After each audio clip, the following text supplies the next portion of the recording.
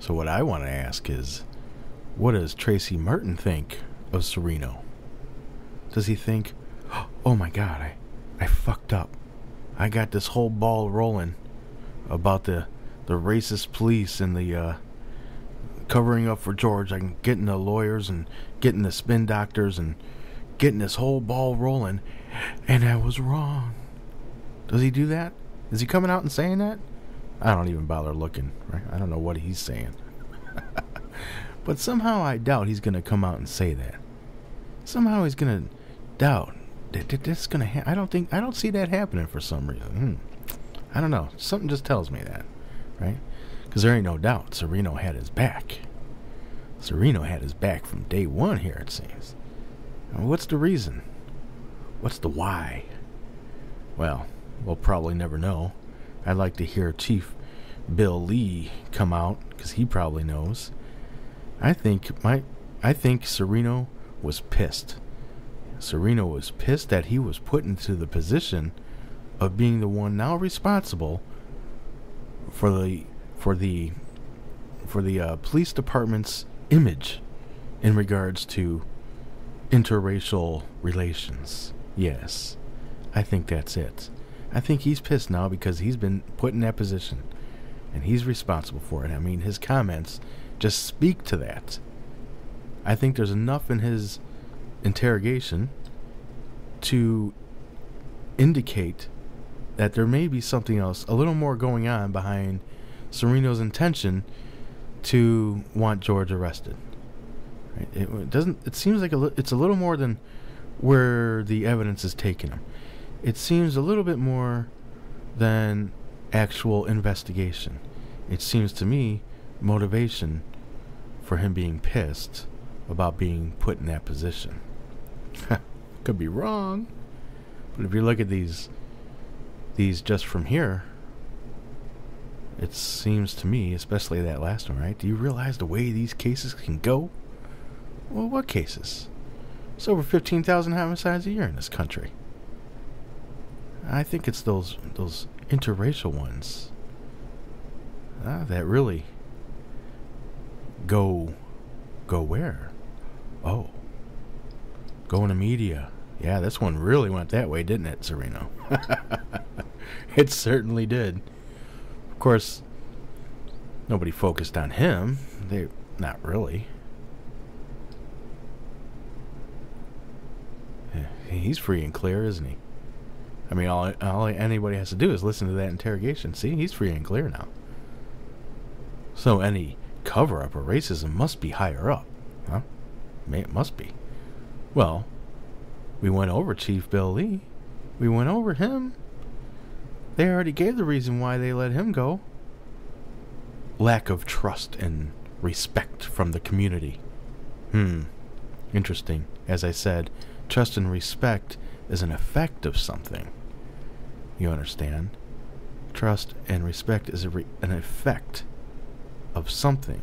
So, what was that something about? What did he do that lost him the respect and trust? He had to have done something but there was no something given at all. And like I said, they can't go back now. They can't go back and say, oh, it was because he covered up or acted with indifference or anything like that. Because if they did, then that would mean that they knew about it all this time and they themselves didn't do anything. The new prosecutor, the governor, all them. Right? The uh, state's attorney, uh, general attorney, Bondi, all them. They would have to know about it, and they said nothing about it. So they, they can't do that. So then it wasn't him. Who was it? Well, was it the uh, prosecutor Wolfing, Wolfinger? Well, what's become of him? He's still a prosecutor, isn't he? No action's been taken on him. So if if that's all the case, then if there was nothing nefarious going on, then why why has it been turned over to a new prosecutor? You see, we're still left with the same questions. We have the appearance of an answer, right? An appearance of one that many people cannot uh, see beyond that, and they just take it for that, right? the masses, they're just like, oh yeah, they got rid of that cracker, and oh, they got rid of that cracker Chief Lee. Right, right, because he was covering up, right? Oh wait, no, that's that's not what they said. That's not what they said.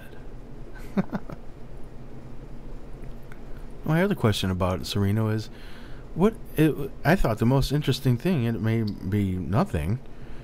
I mean, because they included it in the calls, they cl- included it in, in the discovery, was those last two calls when he's calling George. What was that on March 26th?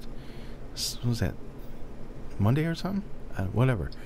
Yeah, and he's asking George if he wants to come in on Tuesday or Wednesday, which the like the 27th or 28th, to meet with uh, um, what's his name, Bertie Bernie de la Rionda, the prosecutor. He wants to know if he can come in, and his main concern seems to be, uh, do you have representation? Do you have a lawyer? And George tells him, no, I don't have a lawyer. And then, yeah, sure, I can come out there. Uh, I'm not you know, sure how long it'll take me. Wednesday will probably be better, something to that effect. So Serino's like, yeah, well, let me call the prosecutor back, give him the info, and then I'll call you back tomorrow. And calls back the next day. He's like, all right, George, yeah, they'll meet you. Well, that's kind of odd, man. I mean, why? First of all, what's Serino doing there? I thought this got turned over to a new investigators. So what's he doing there? First of all, that's my first question. Second question is, is what why are they meeting with him without uh, representation? And this, you know, it was just sort of mentioned a little bit in the bond hearing, from what I remember, that this was just though that was what April 10th when whatever he got arrested and it was April 9th those other lawyers announced that they were dumping George and they made reference to how George had was trying uh, take, having meetings with them or something, or attempting to. And O'Mara said, "Did George try to call you?" He's talking to Gilbreath, and they, he's like, "Well, he didn't call me. He called the, uh, the state's attorney's office, right? I was just there." But that that's as far as the questioning went. So I mean, what's what what's the prosecutor doing? Very odd behavior, I think. But I never get answers to my other questions either, like how is it the state can lie about witness number two right there on stand? How can they do that? I mean, clearly that's lying, so, but they do it anyways, and nobody seems to be able to answer me on how it is that they can do that. I don't know. Who knows? Serino, Serino, where you been so long? Hmm. Let's see. Hopefully, Chief Lee will come out and start flapping his gums. Alright, so that's it for now.